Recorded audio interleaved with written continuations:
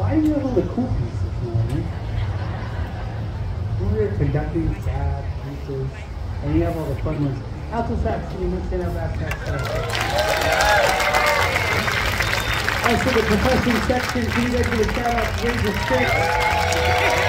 percussion section.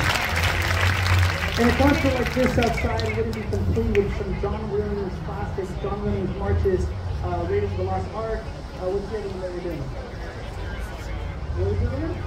Star Wars, Imperial March, and the Olympic themes. So John Williams Symphonic Marches.